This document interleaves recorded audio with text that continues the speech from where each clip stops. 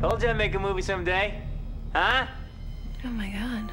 Well, if you're watching this tape, it means, as I feared, I did not survive these killings here at Windsor College. And that giving up my virginity to Karen Kolchak at the video store was probably not a good idea. Karen Kolchak. Yes, Karen Kolchak. Creepy Karen? Shut up! She's a sweet person, okay? We were working late, we were putting away some videos in the porno section, and, you know, shit happens. Open the door, Randy. 15 minutes. My room too.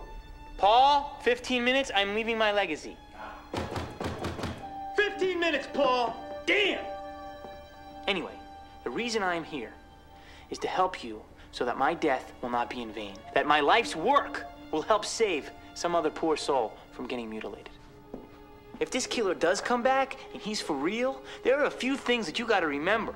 Is this simply another sequel? Well, if it is, same rules apply. But here's the critical thing. If you find yourself dealing with an unexpected backstory and a preponderance of exposition, then the sequel rules do not apply because you are not dealing with a sequel.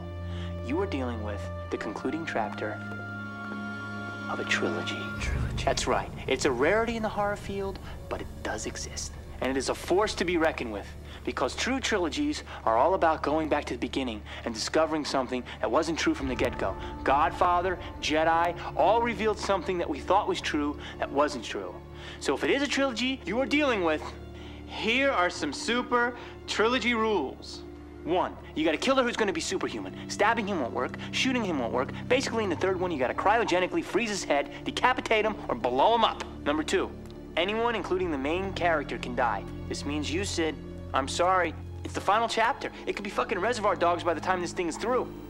Number three, the past will come back to bite you in the ass. Whatever you think you know about the past, forget it. The past is not at rest. Any sins you think were committed in the past are about to break out and destroy you.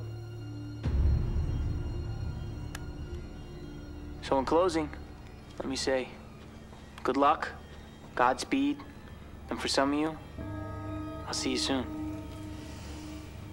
Because the rules say some of you ain't gonna make it. I didn't. Not if you're watching this tape.